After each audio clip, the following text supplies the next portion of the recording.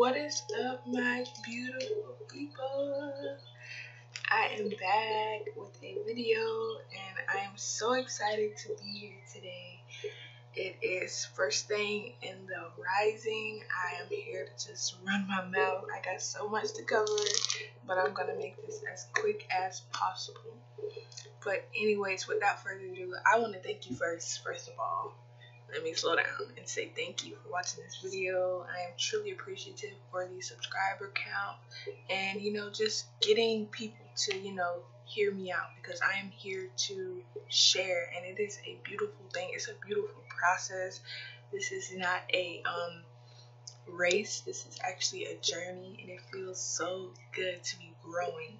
So I hope you guys are just, you know, bearing with me and accepting this process because I am learning myself still. I am still, you know, adjusting in a sense, but I'm not going to elaborate too much. I just want to give thanks and show appreciation a little bit before I jump into this and just thank you guys for understanding me. so, without further ado, let me just jump straight into it. Now, as you can see, today we will be discussing genetics, and yeah, let's jump straight into it.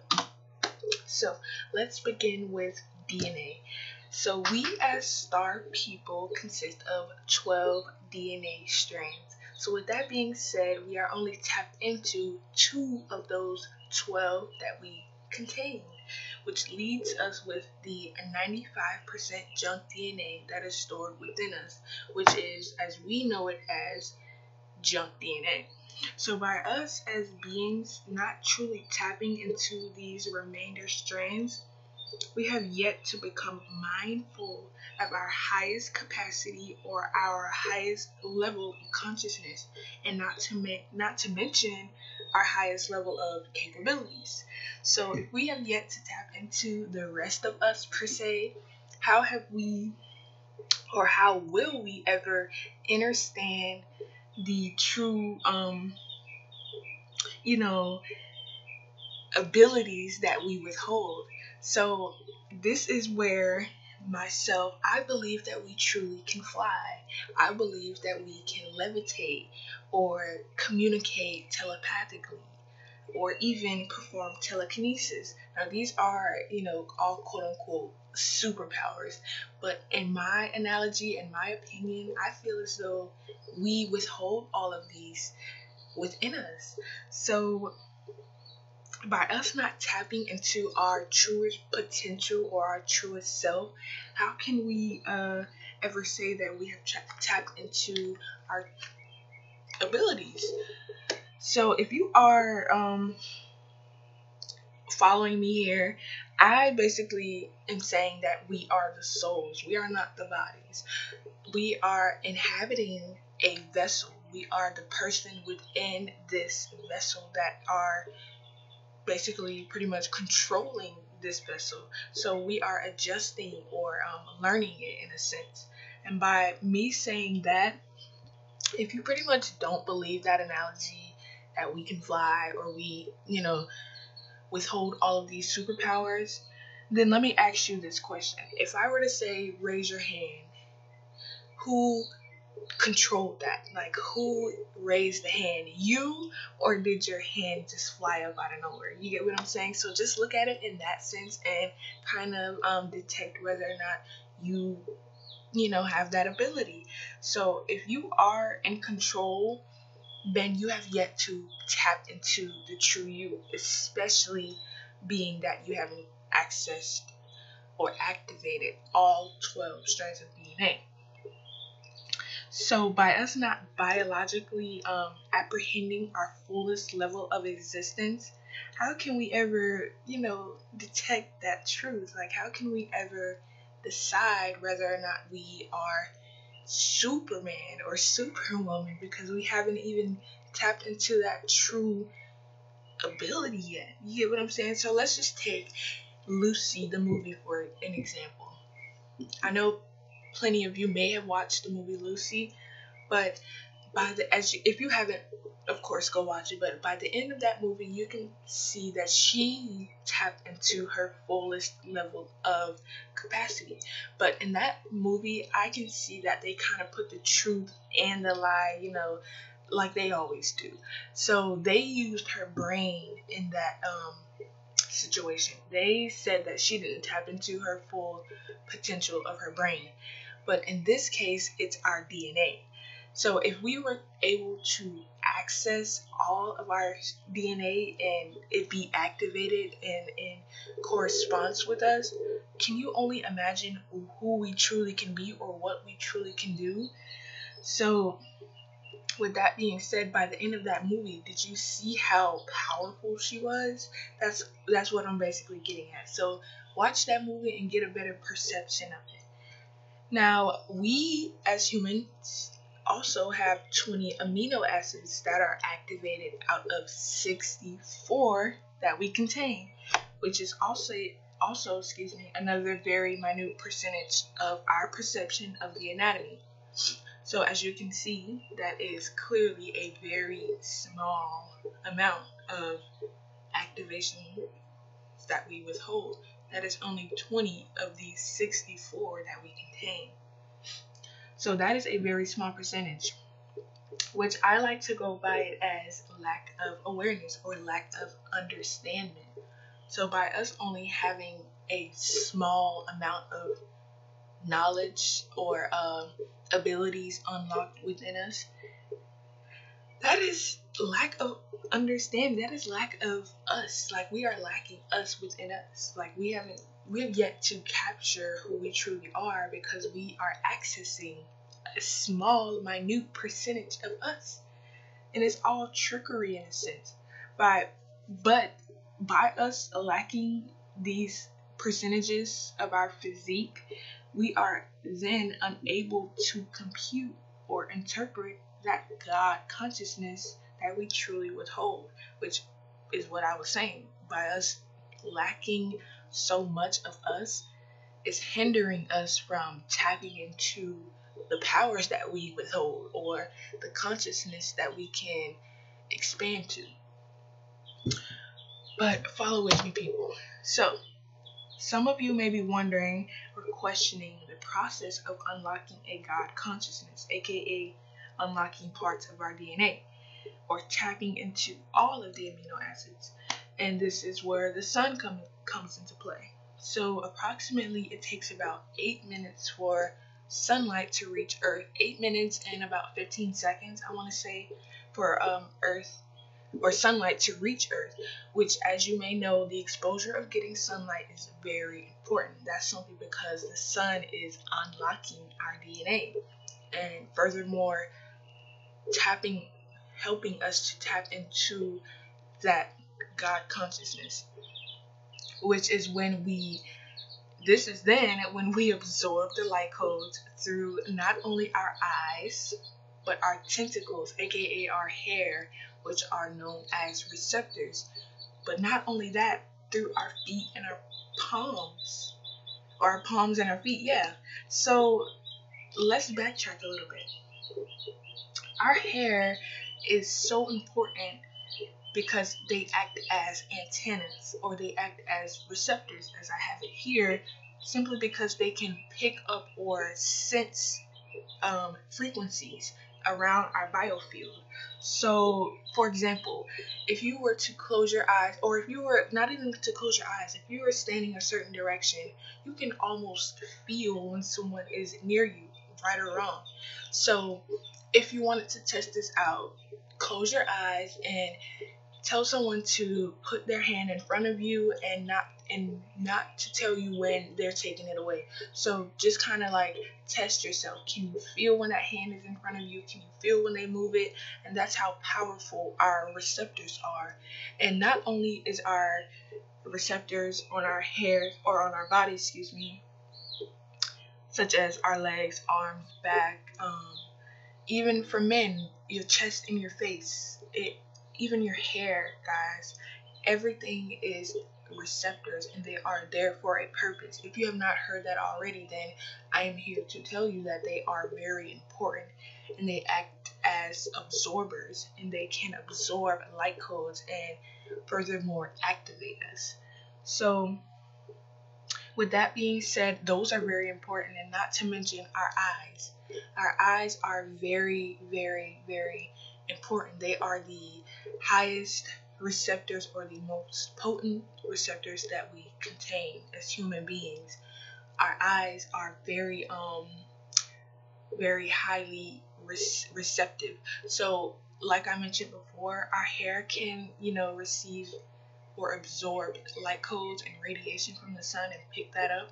So imagine what staring at the sun can do. So everything is like beneficial in a sense. So we are like like sponges down here, which is what I will get into in, in a second. But yeah, if you're following me here, we are literally activating ourselves or able to activate ourselves simply by being in the sun, being exposed to the sun in any matter or form is beneficial, especially staring at the sun.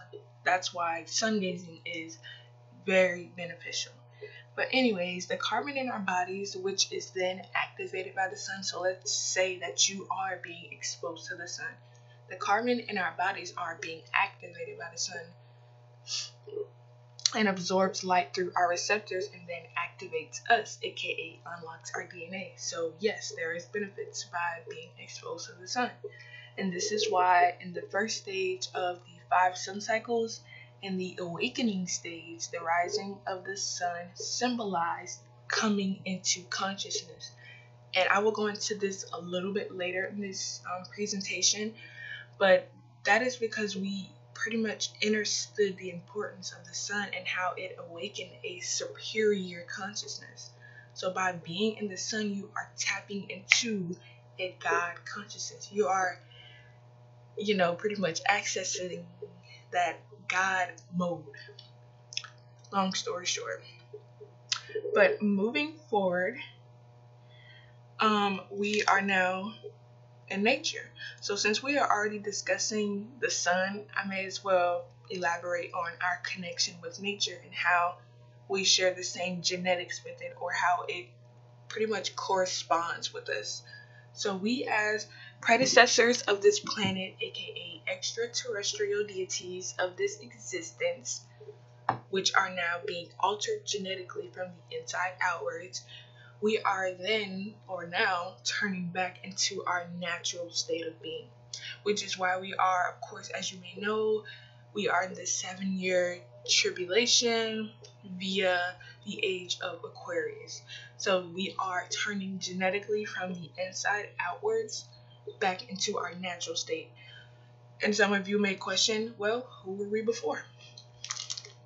And this brings me to my next point the importance of nature or our duality with nature begins with the anatomy. So we are microcosms of the macrocosms, and by us simply being a smaller perception of the macros, we are. Um, this then explains how we are all one. So by us being micros of the macros, um, minute versions of the divine, or uh, a smaller perception of giants. So we are like miniature versions of true, um, you know, giants up above or the heavens. You know, whatever you want to, however you want to perceive that. I don't know. It's all the same. But we are pretty much micros, babies of the macros, the giants. So, um, being that nothing below the sun new is new, it specifies that everything is just a repeated cycle, meaning that there is no past, no present, or future. It just literally keeps going and nothing has a beginning, middle, or end. It's just nowness, or as we know, oneness. And this is why in ancient times, way before slavery, guys, we didn't believe in calendars. We didn't have clocks. We didn't have a Gregorian calendar per se. We didn't have uh what do we call them now? Um, sorry, holidays. We didn't have birthdays. Like none of that existed. Even the language, like it goes down all the way to that. We none of that existed. We didn't believe in time. It was literally nowness. It was oneness, and this is also why we didn't age because we didn't believe in aging. We didn't believe in time, rather. And by that being said, if we didn't believe in time, we had the existence of infinity or internally or eternally or what's the word I'm looking for? Um eternal. Like we had a everlasting life. So by us not believing in time, we there was no you know, beginning, middle, or end. It was literally nowness, which is what we know as oneness. But pretty much what I will be going into in a second is the anatomy or our correspondence with nature. Now, our vernacular anatomy is in exact correspondence with both trees and plants. So, with that being said, the original humans, but way before slavery, way before, were known to be plant like humanoids with, of course, green skin. Now, the only difference now is that I or we as melanated beings contain melanin within our bloodstream, within our DNA, and plants contain chlorophyll within them, which then causes them to refract the color green and for us to give off this blackness or aka brownness, which is the only difference that we pretty much have, excluding the fact that we have limbs and they don't. But moving forward, both trees and plants interpret the same conscious mind as us. It just doesn't, like I just mentioned, share the same physical aspects as we do via body parts, limbs, a brain, all of that, etc., etc. But in fact, guys, hear this Earth vibrates at the same magnetic pulse of both our hearts and our brains. And just how we have lungs, the earth does too, which is where plants and trees, you know, come into play. So, by that being said, we are earth, plants, and trees. Just how we have lungs, just how we have a pulse, earth does too. Earth has trees and plants. That's the lungs of the earth. The pulse, the magnetic pulse earth is thumping at a very it's so loud that it's quiet. So if you guys can you know get that perception of it then you are good. Because we are literally all one. Literally. We are all the same. We just may not share the same physical aspects meaning we don't look the same but we are the same. Now where we are now is the flow of Kundalini energy. Now, this is something that I pretty much wanted to tap into way earlier, but it's okay because we're here now. Now, I chose this. I hope you guys can see my cursor. If you can, please follow along with it so I can furthermore elaborate on it. But, um, or easier elaborate on it. Now I chose this picture here on purpose. As you can see this is the snakes with the angel wings at the top and then here is the resemblance or symbolic to a spinal cord. Coincidence at all? No, these are angel wings. But anyways, this is actually, like I said, universal law where they have to put the truth and the lie directly in front of you and this is actually on an ambulance I believe, right? This is usually on a ambulance. But anyways, they have to put this in front of you and it's on you to detect, you know, that truth. So this is symbolic to the Kundalini energy flow. And as you can see here, this is a human being and this is the spinal cord and then of course the Kundalini flowing up to the pineal gland. Now, I'm going to describe how the pineal gland, excuse me, the, the kundalini energy properly flows up to the um, brain here and how it is an exact replica of the eye of Horus or the all-seeing eye.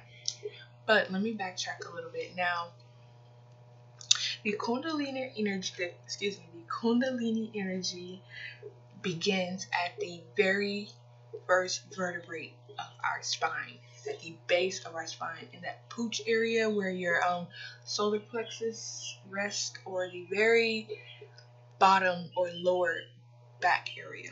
So, the process of it is that the if it is properly done, let, let me just side note real quick if it is properly done you know if you of course are stretching you have the correct posture you are um, meditating you know you're taking care of yourself you're, you're taking all the right steps in order for this to you know process then of course this is then where this takes place. But if not you know you got some work to do but that's just sidetrack anyways the first step of this all is where the energy sits.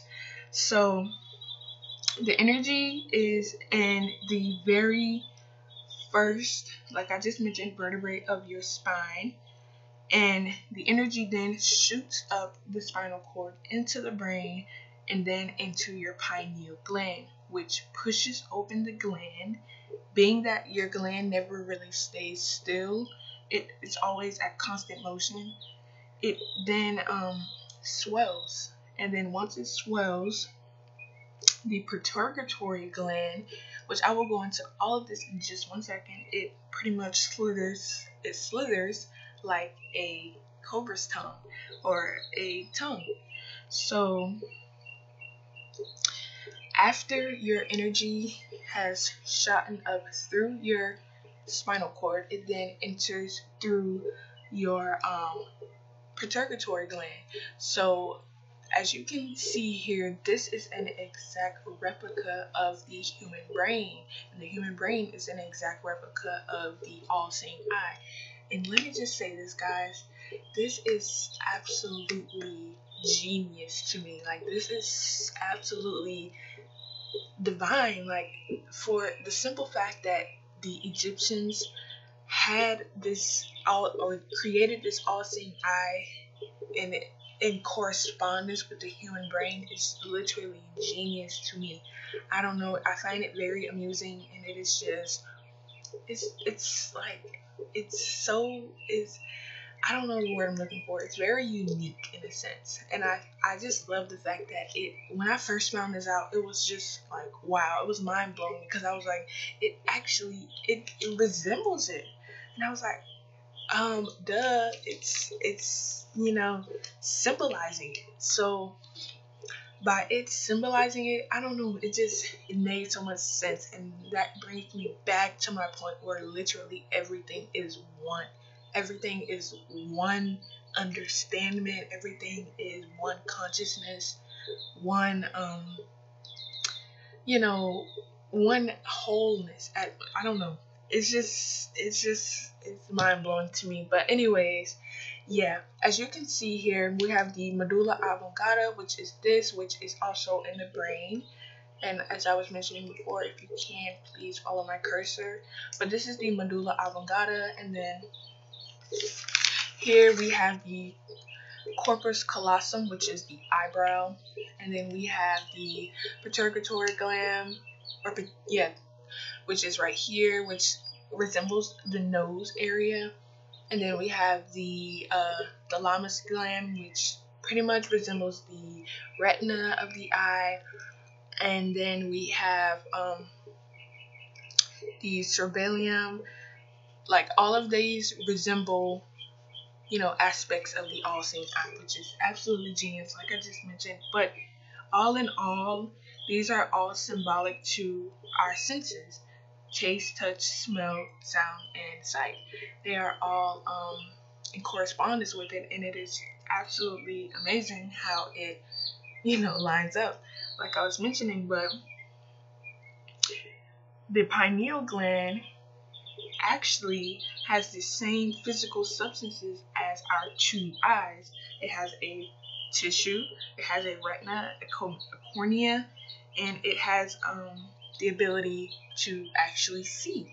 So when people say, when people mention third eye, you may just think of spirituality or something on a more spiritual level, but it's actually something on a more physical level because it actually does share the same aspects as, you know, our true physical eyes.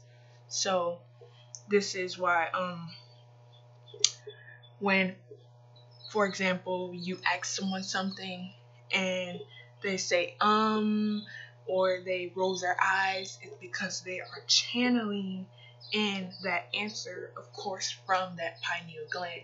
So, like I mentioned before, how Earth is at a everything is at a like oneness, and how everything is in correspondence at the same magnetic magnetic pulse.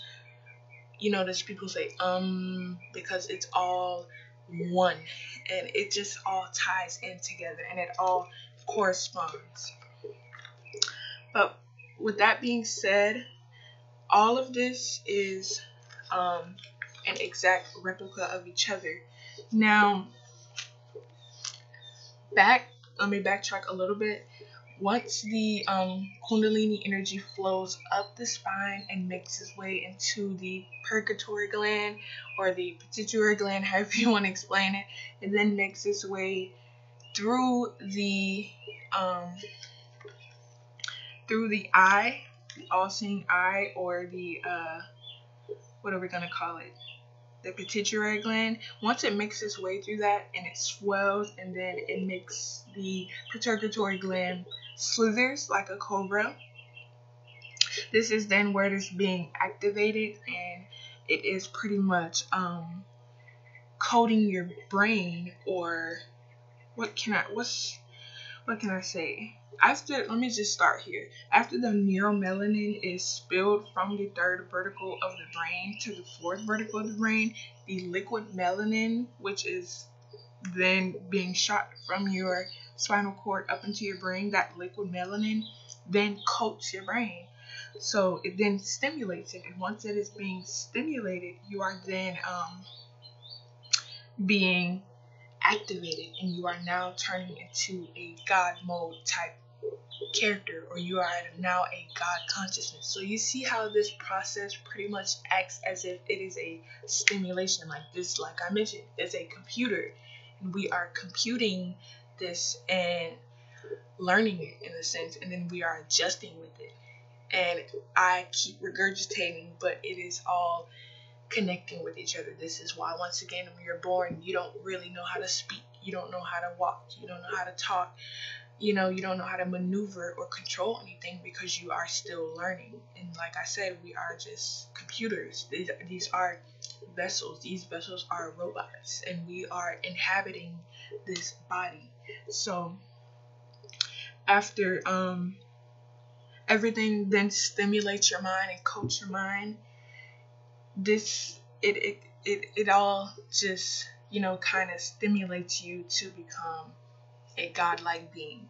And I'm gonna backtrack a little bit. I know I keep going back and forth, but you remember when I mentioned that the um, pituitary gland, once it is being stimulated, or once the um, pineal gland pushes open, the pituitary gland slithers like a cobra. This is where the Egyptians wore the cobras on their heads because it symbolized the completion or the um, you know the tapping into kundalini energy. So when you did see cobras as you see here are on the heads of the egyptians you know that they have accessed or tapped into they have fully tapped into that god mode or that kundalini energy.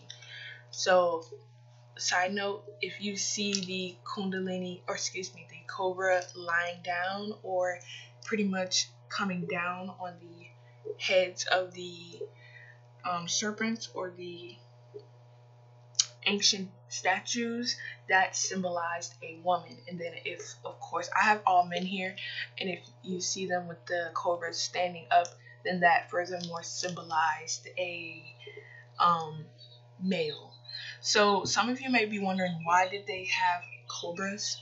Not only because the uh, pituitary gland slithered like a tongue. But if you um actually look into a cobra, a cobra is symbolic to internal strength. Why? Because it can stand up without actual limbs, without actual arms and legs. So a cobra is symbolized to being enlightened or being, you know, strong. If you look at a cobra, it has the ability to stand. I think it's this cobra and um, one other snake that can actually stand up without physical limbs. So it was symbolic to internal strength. And internal strength in our perception was enlightenment. So being enlightened was the this is how we wore it. This is how we uh, basically showed people or others that we were uh, fully tapped into that Kundalini energy. So, yeah, pretty much the serpent energy traveling upwards, all of this is in correspondence with each other. And that's why I have these pictures up here moving forward, which brings me to my very last point. This is where we have our five states of consciousness, or our five, you know, cycles of, excuse me, our five sun cycles. Now, the first one, as you can see, is a beetle. Now, our um ancestors or the Egyptians, they used something known as ideogram. An ideogram is something that was used to symbolize something by using pictures. So they use pictures to pretty much define something or symbolize something without using words. So it is known as ideogram. But as you can see here, this beetle was the first ideogram of the stage. So let's just take this for an example. We have number one, Khepri, which is the beetle. This is known as the awakened stage, and that, that time of day was known as the morning or dawn.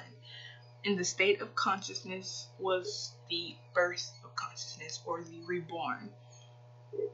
And like I said, this was the sun rising, which symbolized coming into consciousness. This is the baby state of consciousness, basically like the awakening state or the first stage of the awakening, the baby awakening.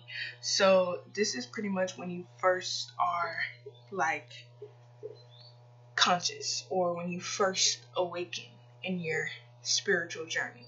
And then we have here what you know as Ra, which is the stubborn stage or the teenage. So we have the baby and then we have the teenager stage. And the time of day of Ra is noon. In the state of consciousness, the state of being, of understanding, is in a teenage state of being. So the perception or the outlook of the world is pretty much understandable. Like you have gotten some wisdom, you've gotten some understanding of it all, but you are still in a, you know, kind of um, know-it-all state or immature state. You're not a baby, but you you're a teenager, so you're you're pretty much, you know how teenagers are. This is why they call it the know-it-all or the um, you know, what is it? I forget the word, but yeah, this is pretty much still like a new or fresh state of being. And then we have the adult stage. So we have baby, teenager, adult. And this is known as Um, aka the wise. So Um's time of day is afternoon or twilight, and the state of consciousness is an elder. And this is the state of being where you are pretty much a young adult or you are between the ages of 18 to 21 you know? So if you can imagine or kind of relate it to this physical third dimensional realm then you can kind of better understand it that it's how do you perceive 18 to 21 like they kind of got an outlook on life. They don't really have it all there. They're wise you know they've been through enough to pretty much understand the format of life and get a good perspective on it, but they have yet to um, you know, grasp onto that full level of knowledge, but they are still there. So there is the baby, you know, the awakening teenager, understanding, you know, kind of getting their perception, and there's wise where you understand and then you begin to grow wisdom. And then we have here the Atum, which is the wiser. So this is the elder stage. This is the day of time, is the evening or twilight. And that is where, you know, you have your highest level of knowledge. You have your highest level of ascension. You are at your highest level of ascension. And this is pretty much your highest level of consciousness. And by that, you pretty much are an elder. You know everything. You've been through it all. You've experienced, you've learned, and you've taught. So this is, I don't want to say the end, but this is like verging off to the elder stage. And everything is in correspondence with this physical realm. It is all one loop, that, which is why I understand it because it all makes sense. And as you can see, Atum is the highest level of consciousness. This is the Leo in zodiac, and this is where many are, like myself, is trying to tap into the highest level of consciousness. And then this is sidetracked, but if you guys are aware of Akhenaten, he was falsely convicted of teaching sun worship, which we never worshiped the sun. We just understood the science of it or the science behind it, aka the benefits that it had upon us, but we never actually worshiped the sun. So with that being said, um Akhenaten was falsely convicted of, you know, teaching sun worship in which he didn't. He just lionized the sun or valued it in a sense. We never worshipped it. But then this is where um Amen or Aman, Aman Ra, comes into play and he then threw um him out of the way. So this is all kind of like once again in correspondence. This is why by the end of your prayer you say amen because that is the conclusion, that's the end, which ties me to my next point. This is where we have amen, the end, the conclusion of the journey. And this is known as the hidden, and the time of day is night. And the state of consciousness is death, the fallen, the death of the ancestors, to be hidden. So like I mentioned before, this is where we, where most people, when they pray, they say Amen or Amen, because that is like the end, the conclusion, or the base. So, yeah. Aman or Aman Ra is, there is a god named Aman Ra, and he is the jealous god, or he is the, um, deceitful god. He was jealous of Ra or Heru, and he actually mimicked or mocked the name of Ra and named himself Amun Ra. But that I did a video on that a while back, and you guys can definitely go tap into that. But that pretty much um, concludes this video after tapping into all levels of consciousness and the proper Kundalini um, flow, you are then tapping into you know as God mode. So, unlocking your DNA is very much so capable, and you have the ability to do so. So, without further ado, thank you so much, guys, for watching this video. I truly appreciate your presence, I truly appreciate your attention, and once again, I hope you guys have a wonderful day. Thank you so, so much. Peace, love, and light.